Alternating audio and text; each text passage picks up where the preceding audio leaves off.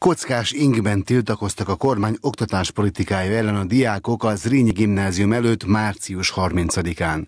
Ez volt az egyik legnagyobb ilyen megmozdulás a megyében.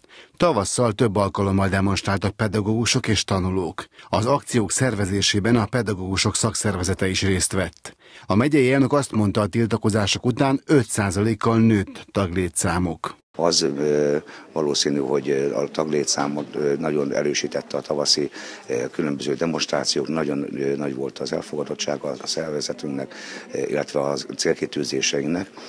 Ezeket szeretnénk tovább, mint ugye a szakszervezet nyáron sem megy szabadságra, tehát tovább folytatjuk azokat a dolgokat, ezekről lesz a mai értekezletünk.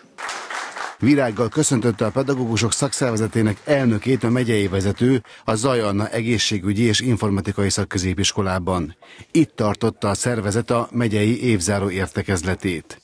Galó Istvánné országos elnök azt mondta, ugyan szóban sok kérdésben megegyeztek a kormányzattal, de ezeket írásban nem látják viszont a köznevelési törvény módosításában. A tárgyalások folyamán megegyeztünk, ezt jegyzőkönyvek tartalmazzák a kérés az volt, hogy ezt mind ugye a jogszabályokba tegyék be, hiszen a jogszabály az ad garanciát arra, hogy uh, akkor ez megvalósul. Nem került be a köznevelési törvény tervezett módosításában, nem kerültek bele ezek a uh, előtte szóban megállapodott kérdésekről. Tehát ha azt kérdezi, hogy mi a legfontosabb, minden nagyon fontos volt. Ezért a nyári szünetben is tovább folytatják a tárgyalásokat a kabinet képviselőivel. Emellett részt vesznek a hétvégére Budapestre összehívott újabb tiltakozáson is.